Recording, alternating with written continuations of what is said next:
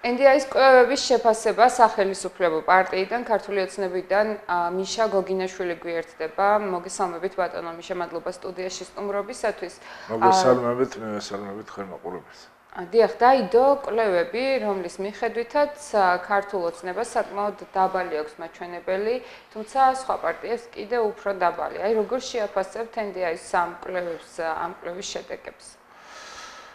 იცით რა ზოგადად ესეთი კვლევები, როდესაც საერთაშორისო ორგანიზაციების დაკვეთით, ხლა NDI IRA-ის კვლევა დიამეტრულად განსხვავდებოდა გორბის კვლევა დიამეტრულად განსხვავდებოდა ისევე როგორც NDI-ის კვლევიდან კვლევისგან, ისე IRA-ის კვლევისგან და ასე შემდეგ.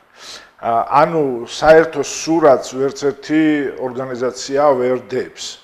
აა სხვა მონაცემია როდესაც დაახლოვებულია წინა წლების ში ჩატარებული გამოკვლევების მიხედვით შედეგებთან, საარჩევნო შედეგებთან, რომელიც უფრო დაახლოვებული იყო, ეს არის ორგანიზაცია გორბის კვლევები, რომელიც ასე თუ ისე დაახლოვებული იყო და შეგვიძლია რომ რაღაც დაახლოებითი წარმოდგენა შევიქნათ მიგან.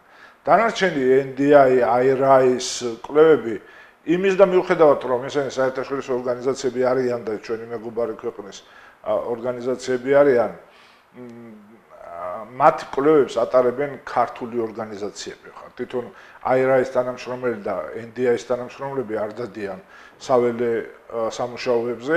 ამას ატარებს ქართული ორგანიზაციები და როგორც წესი ეს ქართული ორგანიზაციები დაკავშირებულია წინა ხელისუფლებასთან პიროვნებები ერთ-ერთი ორგანიზაცია მაგალითად საარჩევნო CSKO-ს თავმჯდომარის ორგანიზაცია იყო მეუღლის თუ სწორად მახსოვს. და ისინი დებენ იმ კვლევებს რომლითაც შეიძლება მოქალაქეებს გაუჩინოთ გაუჩინონ შეგძნება რომ ქართული ოცნების დამარცხება შეიძლება. ეს არის ტყუილი იმიტომ რომ ქართული ოცნებას ამ ეტაპზე ვერც ერთი პარტია ვერ დაამარცხებს. აა დიახ, რა შეიძლება? ქართული ოცნება დამაჯერებლად მოიგებს ამ არჩევნებს. დიახ, რა შეიძლება მოქალაქეების იმ ნაწილს, რომელიც ამბობს, რომ არ იცის ჯერ კიდევ წავა თუ არა არჩევნებზე და იმ ნაწილს, რომელმაც ზუსტად იცის, რომ წავა. 61%-ია იმ ადამიანებისა, რომლებიც ამბობენ, რომ არჩევნებში მონაწილეობას მიიღებენ. ეს წინა წელთან შედარებით არის 10%-ით დაბალი მაჩვენებელი, რაც ოპოზიციურმა პარტიებმა, თქვენმა ოპონენტებმა ახსნეთ ახსნეს იმით, რომ მოქალაქეებში არის ნიჰილიზმის გრძნობა და ისინი არ აღარ ენდობიან არჩევნებს. აი თქვენ როგორ ახსნიდით თუნდაც ამ მაჩვენებელს? ჩვენმა ოპოზიციონერებმა საერთოდ არჩევნებზე წარმოქმნა რომ ხონდეთ ესეც სისულელეს არ ეთყობდნენ. ხო, აი მაგაშიც ეთყობათ რა, რომ ადამიანებს ასაღებენ თავიანთ ცდარ შეხედულობას და უნდათ რომ ხალხმა დაიჭეროს.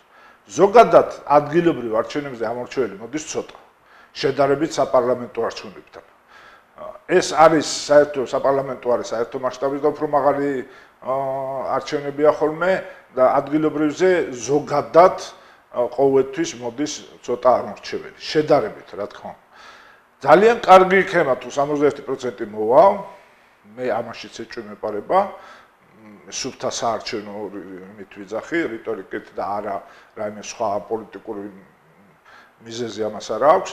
აა კარგი იქნება, რაც უფრო ბევრი მოვა, უფრო კარგი იქნება, რა თქმა უნდა, საერთოდ საქართველოს მოსახლეობამ უნდა შევეჩვიოთ, რომ არჩევნებზე უნდა ვიაროთ და ხახმა ვიცეთ იმას შემდეგ იმ ადამიანებს, რომლებიც მართავენ წლების რამდენიმე წლის განმავლობაში და ამაზე პასუხისგებლობა ყველა მოქალაქემ უნდა აიღოს და კარგი იქნება, რაც უფრო მეტი მოვა.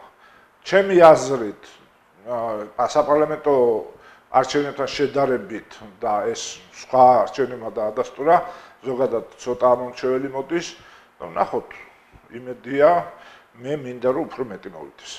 დიახ, რაც შეეხება კვლევებს წინა საარჩევნო პერიოდში საკმაოდ ხშირია ხოლმე მსგავსი კვლევები სხვადასხვა ორგანიზაციის დაკვეთით გაკეთებული. ჩვენ ვიხილეთ წინა თვეებში, წინა თვეში, უბრალოდ ივნისის თვეში იფსოსის კვლევები, შემდეგ კი გუშინდელი გორბის კვლევები. აი ამ სამი კვლევის შედარება რომ მოვახდინოთ, რა შედეგის მოლოდინი აქვს ქართულ ოცნებას? მე დარწმუნებული ვარ რომ თქვენ გაქვთ კიდევ შიდა კვლევები, ასე ვთქვათ, შიდა პროცედურები, შიდა დათვლები. აი აქედან გამომდინარე, რა არის თქვენი მოლოდინი, რა არის პროგრამა მაქსიმუმი, რომელიც უნდა დადოს ქართულმა ოცნებამ ამ არჩევნებში? ნუ ეგ მოლოდინებზე რომ არ ვილაპარაკოთ, ჩვენი მოლოდინია რომ პირველივე თორში ჩვენ ყველგან გავიმარჯვებთ და დავამარცხებთ ოპოზიციურ პარტიებს. ეს არის ჩვენი მოლოდინი და ესე იქნება. აა ზოგადად საერთოდ კვლევები საქართველოსში დიამეტრიულად მე ამიტომ პირველივე შეფასებაზე ესავთქვი რომ სამწუხაროდ კვლევები დიამეტრიულად განსხვავდება მონაცემები ერთმანეთისგან ზოგადად ესეთ კვლევებს აქვთ ხოლმე 2-3% ცდომილება უნდა ჰქონდეს მაგრამ ჩვენ გვახსოვს 40%-იანი ცდომილებები და თვითონ კვლევებიც ერთმანეთში 20%-ში განსხვავდება 30%-ში და ასე შემდეგ.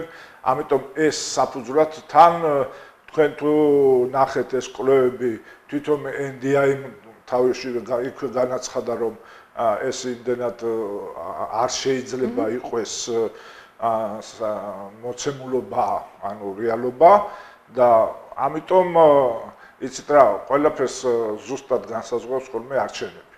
სამწუხაროდ, სამწუხაროდ უნდა ითქვას, რომ ორგანიზაციები წლების მანძილზე ქართული ორგანიზაციები თორე საერთაშორისო არ მაქვს ლაპარაკი, შემჩნეული არიან манипуляციაში. ამ კვლევებით манипуляცია. ან შეიძლება ითქვას, რომ ქართული ოცნება აღნიშნულ კვლევას არენდობა? რა თქმა უნდა, არენდობა, იმიტომ რომ ეს არის მე თვლი რომ манипуляციისთვის დაწერილი ციფრი აა სხვა მიზნებისთვის გამოყენებული აა ქართული ოცნება დამიჯერეთ ორჯერ, სამჯერ მეტ პროცენტს აიღებს.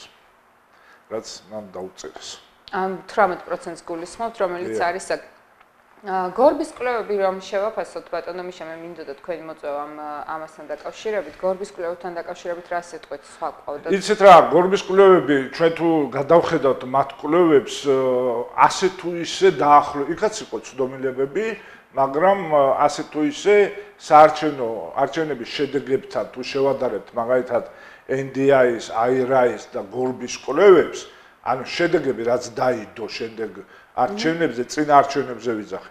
ყოველთვის ყველაზე ახლო იყო ხოლმე გორბის კვლევა. ამიტომ უფრო საბარაუდოდ შეიძლება გორბის კვლევა ავიღოთ საფუძვლად.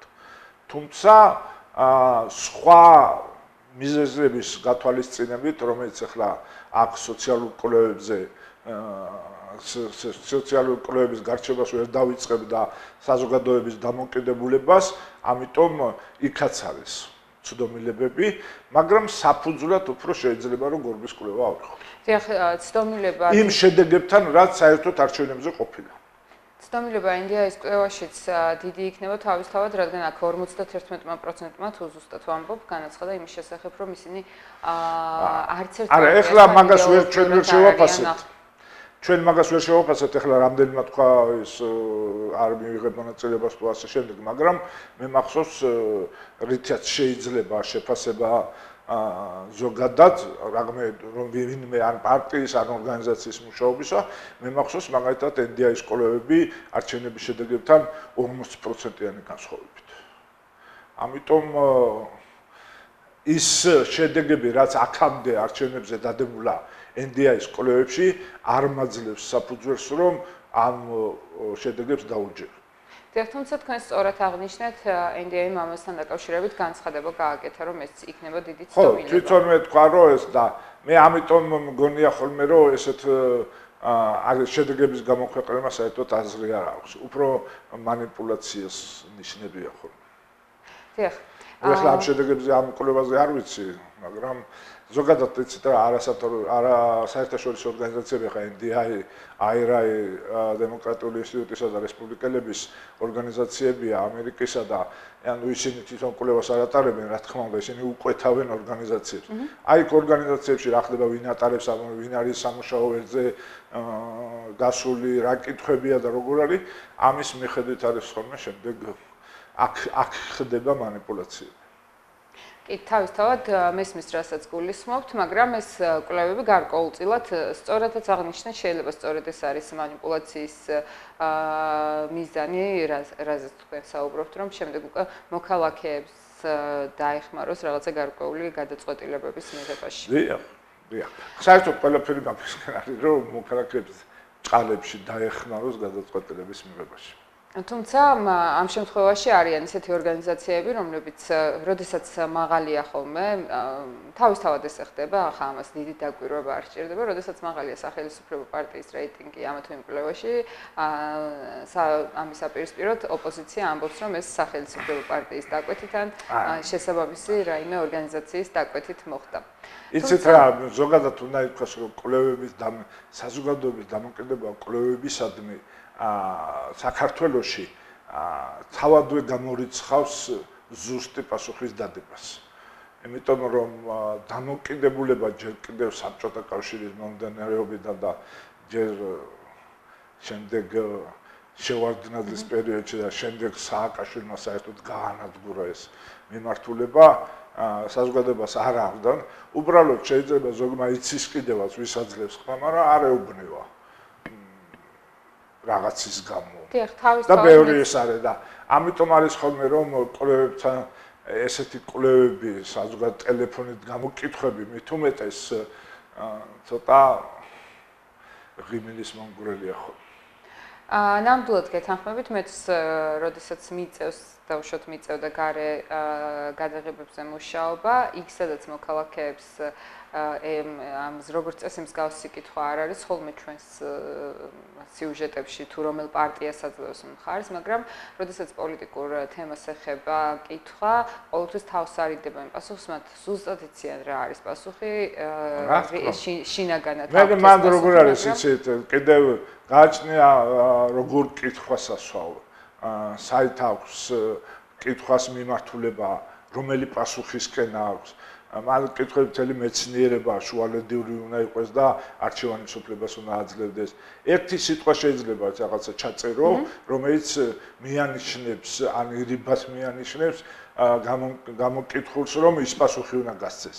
აქ ხდება ხოლმე манипуляციები ძირითადად და აა აა ის ნაწილი, რომელიც პასუხობს საზოგადოების ის ნაწილი, რომელიც სინამდვილეში პასუხობს და ღია ამ გამოკითხებისთვის არის ძალიან მცირე საქართველოში. დიახ, თუმცა ამის შესახებ როგორც წესი ეს კვლევითი ორგანიზაციები საუბრობენ ხოლმე ესე ისე არ გამოგვივიდეს თითქოს და მათ კომპეტენციაში არა კომპეტენცია საქმის მაგაშია რომ კომპეტენცია ზოგს იმდენად მაღალი აქვს რომ იყენებს манипуляციებისთვის. აა აქ კომპეტენცია იმაშიც არის რომ საერთოდ ჯობია ასაველი პირდაპირ გამოკითხვა ჩაატარო, ვიდრე სატელეფონო და ასე შემდეგ.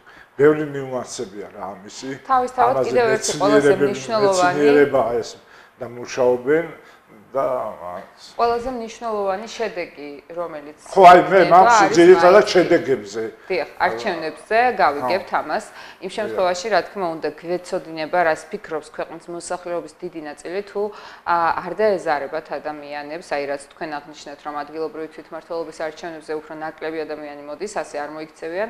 აიღებენ პასუხისმგებლობას იმ პასუხისმგებლობას იმაზე რომ დიახ ჩვენს მიერ ჩვენის მუნიციპალიტეტის მართველი მთავრობა ასე ვთქვათ არის ჩვენს მიერ ასარჩევი და აუცილებლად უნდა მივიდეთ საარჩევნო ყუთთან იმისათვის რომ საკუთარი ხმა დავაფიქსიროთ. სწორედ ეს მოგცემს რეალურ შედეგებს. იმისას როგორ და ვის ასიკეთოთ წარიმართება არჩევნები მთავარი რომ ეს ყველაფერი ხალხის ასიკეთოთ იყოს. მე სანამ დაგემშვიდობებით ბატონო მიშა კიდევ ერთხელ გამემეორებ იმას რომ NDI-ის კვლევები რომელსაც ჩვენ ცოტა ხნის წინ საუბრობდით ჩატარდა 13-25 ივლისის პერიოდში ეს იყო სატელეფონო გამოკითხვით ჩატარებული გამოიკითხა სულ 2016 ადამიანი და საშუალო ცდომილების ზღვარი იყო +-1.3 მიათები. აა ახლა ეს რა არის იცით საერთოდ კიდევ ერთხელ გამოვიხა NDS-თან არაფერი საღამოს პრეტენზია მაგრამ იმ ორგანიზაციებთან ამაქსომე რომელიც საველე სამუშაოებს ატარებენ ზოგადად კითხვები ხოლმე და რატომ იცით კიდევ ერთხელ გავიმეორებ აქამდე ჩატარებული ხარ რამდენი წელი არჩევნებში ვართ და არჩევნებში მიმიღია მონაწილეობა და არც ერთ არჩევნებზე წინა ხელისუფლების დროსაც კი აი 2012 წელი რო ახლოვდებოდა 2007 წელი როცა არჩევნები იყო საპრეზიდენტო იყო ეს თუ ის არც ერთ არჩევნებზე მიახლოებულიც კი არ ყოფილა NDI-ს და IRA-ის პროცენტები დაწერილი პროცენტები კვლევების მიერ რეალობასთან. და ამიტომ არის კითხები თორე ორგანიზაციებთან რამე პრეტენზია კი არ აქვს. განვლილი გამოკითხების შედეგად ცდომილებები იყო უზარმაზარი. ამიტომ ჩვენ მე მაქვს პირადად უფლება რომ არ დავეთანხმო მაგ ორგანიზაციას და არ გავითვალისწინო მათთვის. ძალიან კარგი, მადლობა. კიდევ ერთხელ ბატონო მიშამობ ბრძანებისათვის და მადლობა იმისათვის რომ დააფიქსირეთ თქვენი აზრი და გემშვიდობებით. მადლობა თქვენ.